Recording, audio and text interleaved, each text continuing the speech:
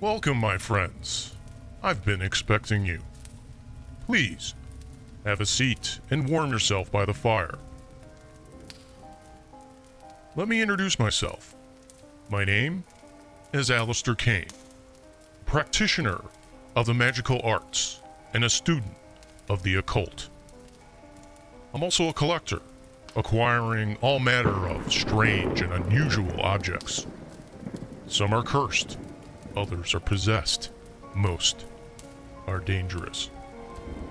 But one object has eluded me all my life the lost journals of Dr. Crow.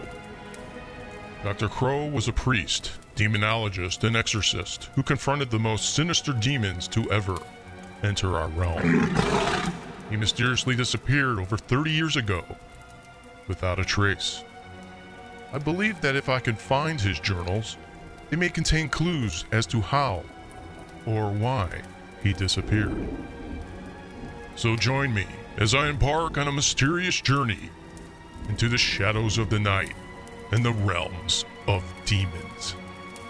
But only if you're brave enough to listen.